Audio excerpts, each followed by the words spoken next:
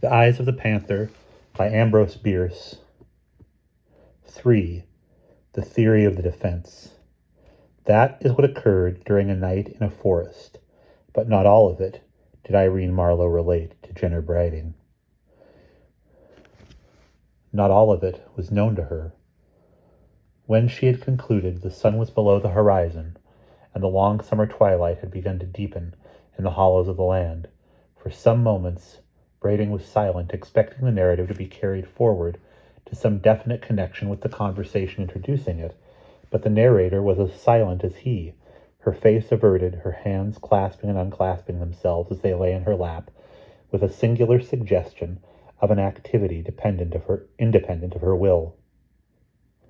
It is a sad, terrible story, said Brading at last, but I do not understand. You call Charles Marlowe father, that I know, that he is old before his time, broken by some great sorrow I have seen, or thought I saw, but pardon me, you said that you, that you, that I am insane, said the girl, without a movement of head or body. But Irene, you say, please, dear, do not look away from me. You say that the child was dead, not demented. Yes, that one. I am the second. I was born three months after that night, my mother being mercifully permitted to lay down her life in giving me mine. Brading was again silent. He was a trifle dazed and could not at once think of the right thing to say. Her face was still turned away.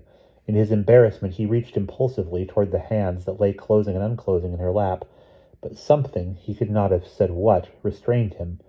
He then remembered, vaguely, that he had never altogether cared to take her hand. It is likely, she resumed, that a person born under such circumstances is like others, is what you call sane.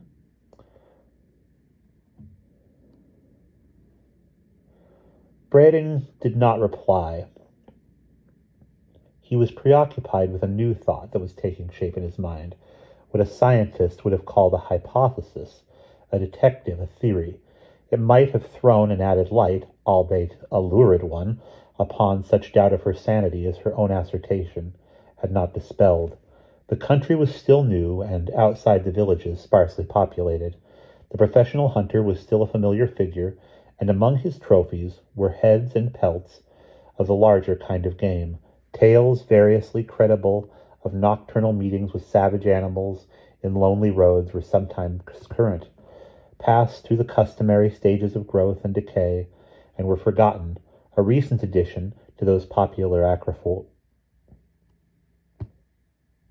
to those popular apocrypha, originating apparently by spontaneous generation in several households, was of a panther witch, was of a panther witch, was of a panther which had frightened some of their members by looking in at windows by night.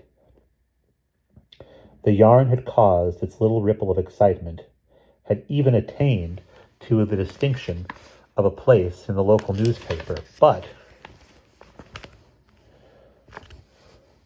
Brading had given it no attention. Its likeliness to the story to which he had just listened now impressed him as perhaps more than accidental.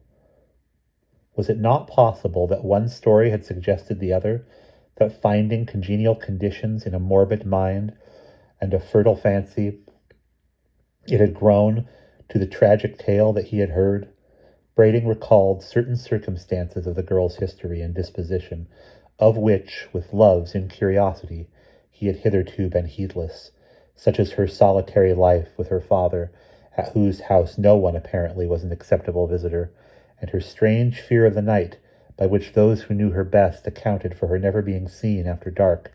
Surely, in such a mind imagination, once kindled, might burn a lawless flame penetrating and enveloping the entire structure, that she was mad, though the conviction gave him the actual pain, the acutest pain.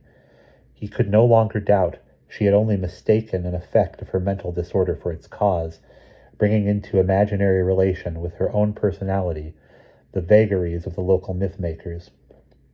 With some vague intention of testing his new theory, and no very definite notion of how to set about it, he said gravely, but with hesitation, Irene, dear, tell me, I beg you, will not take offense, but tell me. I have told you, she interrupted, speaking with a passionate earnestness that he had not known her to show. I have already told you that we cannot marry. Is anything else worth saying? Before he could stop her, she had sprung from her seat, and without another word or look was gliding away among the trees toward her father's house. Brading had risen to detain her. He stood watching her in silence until she had vanished in the gloom. Suddenly he started as if he had been shot.